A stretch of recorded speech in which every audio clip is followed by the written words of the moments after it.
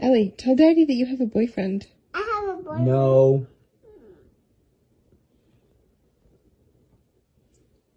Tell me. I have a Wrong. I have a boyfriend.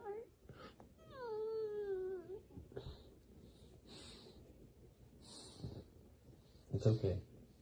I have a boyfriend? No, no, you can't, but Why? it's okay.